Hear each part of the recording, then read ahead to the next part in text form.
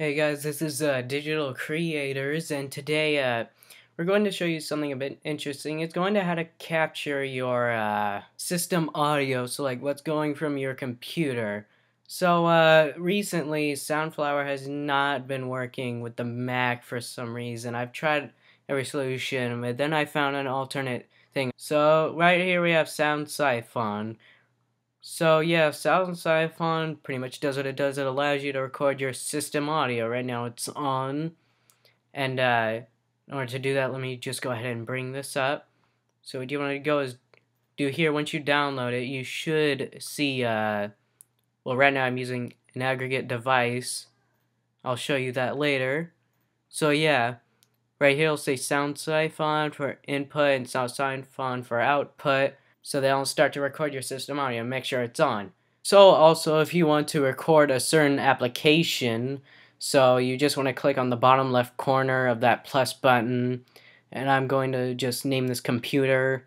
I mean you can name it whatever you want. So uh, yeah. So it says click the plus button to add any app to capture. So, what do I want to capture? Mm, what about Safari, hmm? So yeah, you can have it mute or mix stereo. Here's the volume. You can preview how it is just by playing something. So let's go ahead and do that. So let's go back to it. So what if I want the volume lower, or almost to none, keep this all the way up. Now if I like it, I'll just save it like that.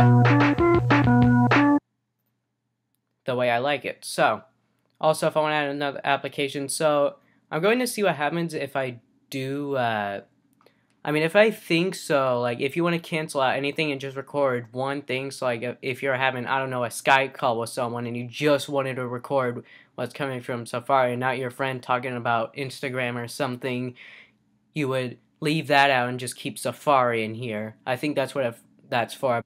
I'm not sure how to really use it that well, the custom things, but that's just my guess. I mean, you don't have to make a custom one just to use this by itself. I mean, that's what I'm doing. I'm using it by itself. Now, if you want to do the thing that I'm doing and I'm uh, recording also with my mic, you would want to go to Audio MIDI, which is in the Launchpad if you go to Other, that little uh, section there, here, or if you already know how to get it, you would create an aggregate device, and then you would add in the built-in microphone and sound siphon, and make sure it's like this. Four, four, one, this, and the clock sources sound siphon. And then the drift, I don't know what this is, but I, I just keep the built-in microphone checked, I guess.